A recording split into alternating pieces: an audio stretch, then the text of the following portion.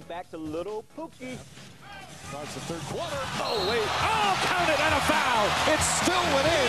And a chance for a three-point play. I'm shocked that they would even try that. And then wait. Now, that's all eye contact, no doubt about it.